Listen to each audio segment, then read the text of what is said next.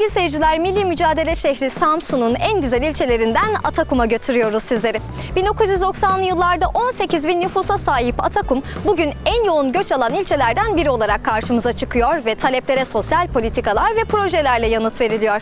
Doğanın sesini dinleyebileceğiniz Çakırlar Korusu'nda belediye başkanı Metin Burma ile bir araya geliyor. Çevreci yatırımlara Eko Gündem'de kulak veriyoruz.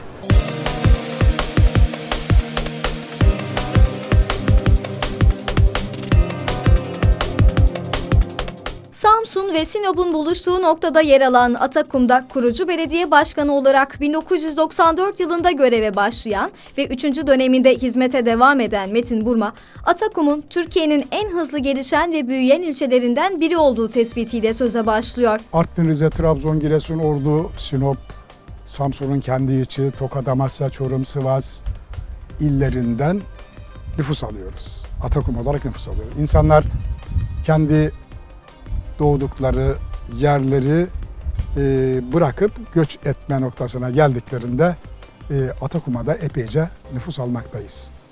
4 yılda e, 35 bin üstünde bir nüfus aldık.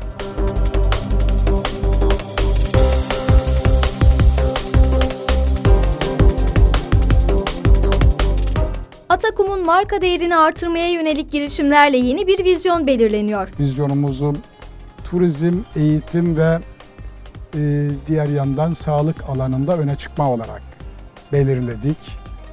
Bunun altyapılarına önem veriyoruz. Bu noktada insanları teşvik ediyoruz. Ve tabii ki bunların başında çağdaş bir kentleşme e, ve çevreye saygılı ve öne açık bir kent olgusunu da dikkate alarak e, çalışmalarımızı hızlı bir şekilde sürdürüyoruz.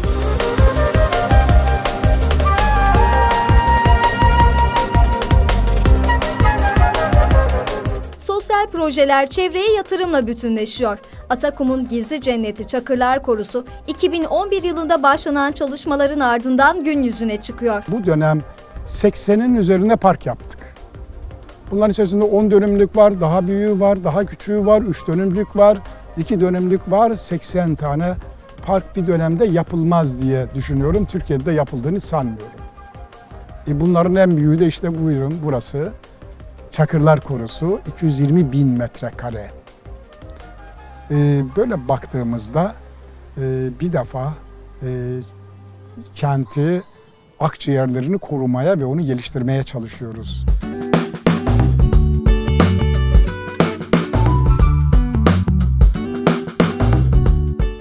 Sanat merkezi, spor merkezleri, engellilerin engelsizce vakit geçirebildiği, ekolojik, bir o kadar da emeği barındıran özellikle parkların ve daha pek çok projenin inşası hızla sürerken Çakırlar Korusu'na ayrı bir önem veriliyor. Akşama doğru burada gelip işte bu kafeteryalarda oturduğunuzda burada çok büyük bir müzik ziyafeti, bir konser, efendim bülbüllerin verdiği bir konseri dinlersiniz. Böyle bir yer burası.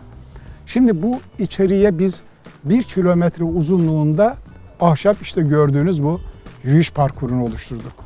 Burası 120 santim su birikir burada olur. Ve yılda sadece 3-4 ay burası hafifçe kurur. Ee, bu noktada yaklaşık bir buçuk yıldır burada bir çalışma sürdürüyoruz.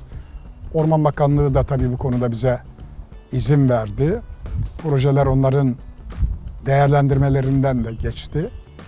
Ee, onlara teşekkür ettim ve Samsun halkına, ben de buraya ciddi yatırım yaptım. Bunu halka hizmet diye yapıyoruz.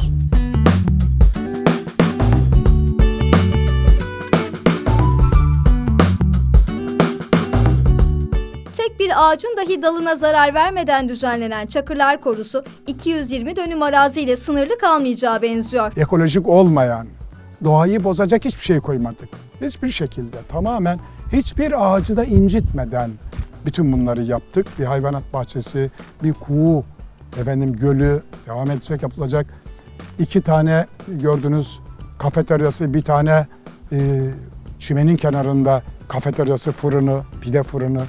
Burada görmüşsünüzdür belki e, kuşlarla ilgili bir bölüm yaptık.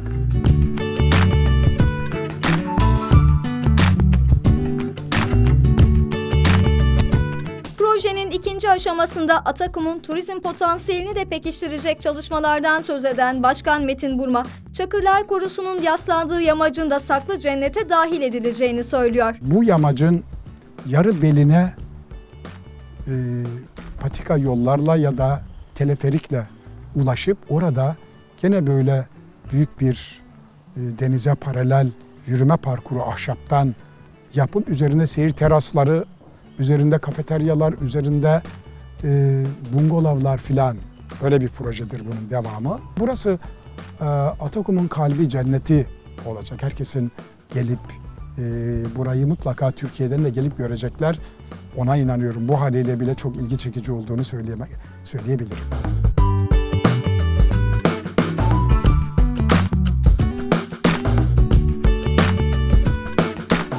Projelerini İstanbul'da CNR Expo'da düzenlenen Kentine Güvenen Kentler buluşmasında da tanıtan Başkan Metin Burma, anlatmakla olmaz, gelip görmek lazım diyor ve herkesi Atakum'a davet ederek sözlerini noktalıyor. Ben buradan Atakumlar adına, Samsunlar adına bizi dinleyenlere sevgilerimizi, saygılarımızı e, gönderiyoruz, sunuyoruz.